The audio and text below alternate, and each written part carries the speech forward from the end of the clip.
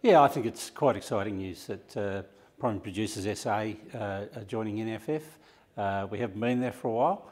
Uh, South Australia hasn't been around the table, so uh, to have South Australia direct representation at the NFF really gives us more of a say on the uh, on the national level, uh, where there's some very important issues. So uh, we're pretty happy to be back and looking forward to the benefits it can bring South Australian farmers. I think it gives us a lot more direct sort of say in uh, uh, in trade, for instance, but also some of the issues that sit around uh, uh, visas and immigration. Uh, we've got some real challenges in regional areas of South Australia now with getting workforce.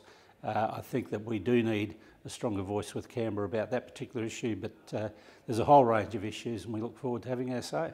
Excited to get the advice today from Primary Producers South Australia that they'll be coming back into the National Farmers Federation. Uh, it'll allow us to uh, talk more closely and more directly with farmers in South Australia about the key issues that are important to them and, and help us advocate them uh, at a national level.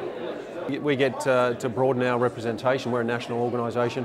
Um, there has been a little bit of a gap in the uh, state of South Australia in terms of uh, direct representation and, and, contact with farmers in this state. So we're delighted and excited that you know we're going to have primary producers South Australia back at the NFF table. It'll enable us to work more closely with them and to advocate to government um, and, and, really trying to get some good outcomes for farmers in this state, but across the, across the country. The issues that we work on are, are important to South Australian farmers as well. So you know land use, um, mining, uh, uh, natural resource management, uh, trade, infrastructure, NRM, uh, all of these issues, biosecurity, all of the issues that we advocate at a national level will benefit from having a greater, stronger, more united uh, voice from South Australia. So it's, it's a win-win situation for uh, primary producers South Australia and also for the NFF. So great things. Obviously, I mean, we've got a lot of state issues and, um, and we've got linkages into Grain Producers Australia for our grains national issues. But things like transport, market access, fair, you know, trade agreements and, and federal taxation, I think that's where we're going to see a lot of value out of joining NFF. They run some, you know, they've run some fantastic national campaigns, put making sure agricultural issues are, are right in front of the fold in terms of federal politicians' minds. You look at the backpacker tax, I think the NFF run a fantastic campaign there. So we're now going to be a part of that and make sure it's got also South Australia is around the table. We're at the end of our fourth year, this is our fourth um, AGM.